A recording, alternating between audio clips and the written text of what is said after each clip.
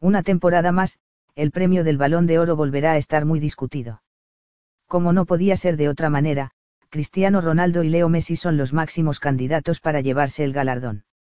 El luso ha conquistado la Liga y la Champions con el Real Madrid, siendo el máximo goleador del torneo europeo, mientras que el argentino es el actual bota de oro gracias a sus 37 goles en liga y ha ganado una Copa del Rey con el Barça.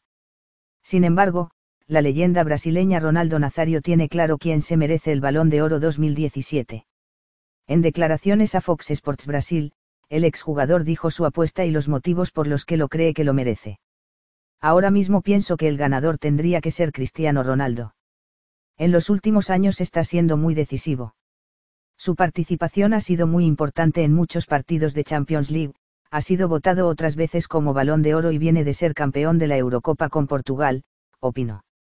Parece que Cristiano es el favorito en las apuestas por ahora, y este podría aumentar su ventaja todavía más si termina conquistando la Copa Confederaciones con Portugal, torneo que está disputando en estos momentos, así como las Supercopas de España y de Europa con el Real Madrid, que tendrán lugar en el mes de agosto.